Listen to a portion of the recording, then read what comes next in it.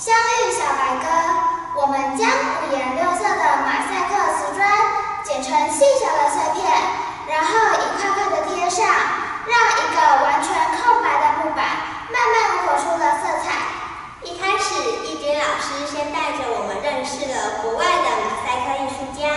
他们会运用马路上的凹洞来制作艺术品，让大街更加美丽。之后再带着我们全班去参观历届学长姐的作品。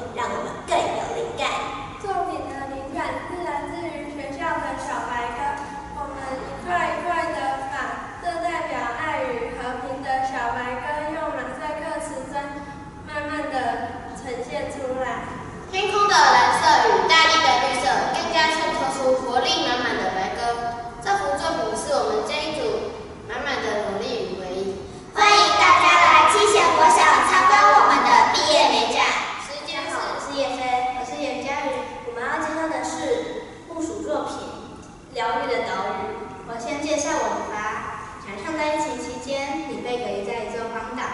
你是这座岛的岛主，你会怎么打造这座令人疗愈的岛屿呢？这件作品是以星辰背景设计的木薯岛屿，两片与天桥连接起来的陆地，上面不但种满了花草树木，还有清澈如镜的水及一间映照着灿烂星空的星辰屋。你若觉得人生太无聊，来到这里调慰身心，享受被繁星笼罩的梦幻感觉，也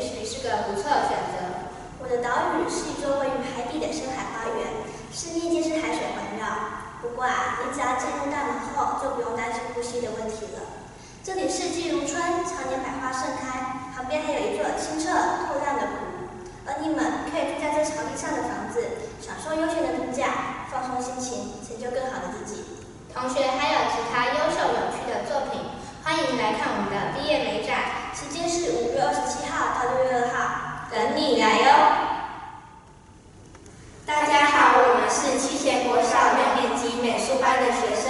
我们今天要介绍的作品是毕业干妈奖。这件作品是我们用回收过的弹箔纸白制成的，里面还加上色彩缤纷的 LED 灯和各种有趣好玩的小机关，让整件作品看起来更加鲜艳。另外，除了这件小作品之外，我们班还一起完成了两台巨大的摊车。那些摊车上装满了我们班一起玩的作，一起完成的作品，像是有可以玩的烟盒，里面装满了各式各样的照片，有我们一起去参加活动的，还有一起出去玩的珍贵相片。还有超可爱的冰棒，而每一支冰棒的外表都有不同的图案和特别的口味。冰棒里面藏着许许多多的任务和特别好玩的祝福话。我我希望用这种多互动的方式来介绍我们班。我们还特别加装了一个留言板，你可以在上面写下祝福的话，或者是对这件作品的评价，也可以写秘密哦。记得看到我们的作品时，不妨来留个言吧。我们的介绍就到这里结束。记得